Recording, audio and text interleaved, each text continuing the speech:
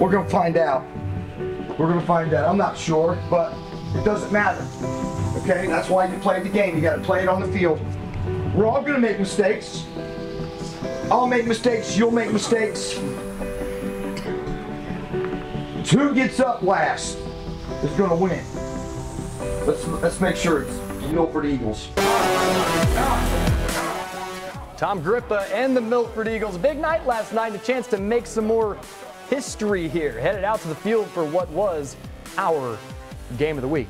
Welcome in, everybody, to Friday Football Saturday Morning Edition. He's Marshall. I'm Caleb. The game of the week, Marshall, was Milford and Winton Woods. Two things Coach Grippa said everybody makes mistakes. Everybody has those days. Hannah Montana said that. And also, the most important thing is that this was going to be a low scoring game. Oh, did he get that right? Yeah, low scoring. Everybody makes mistakes. We'll try to make as few mistakes as possible on this show this morning. Let's go right to the game. Milford looking to go 8 0 for the first time since 1957. That's a long time ago. Tom Grippa was one year old at that time. It was the year that frozen pizza was invented.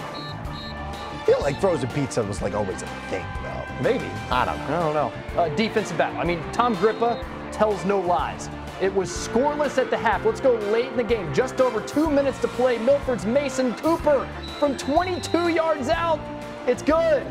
So the Eagles take a 3 0 lead. Tom Grippa ain't getting comfortable yet. Looking at the clock. Just seconds to play. Winton Woods could tie it up. It's no good.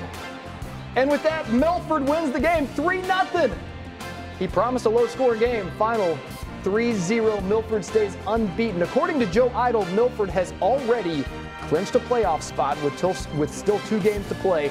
And if the playoffs started now, they would be the top seed in Division One for Southwest Ohio. This game had a lot to do with heart, and head coach Tom Grippa, he dealt with heart issues in the past, mm-hmm. and he will speak about that. A really, really big moment for Coach Grippa and his Milford Eagles. Here he is.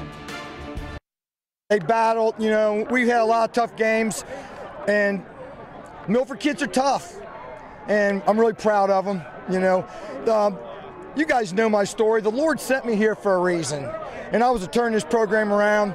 They needed me, and I needed them, and I'm so proud of them. That was crazy. I can't believe I just did that. Uh, it means a lot because we're going 8 0 about to win the ECC. Uh, just trying to block everyone out and make the kick. That's about it.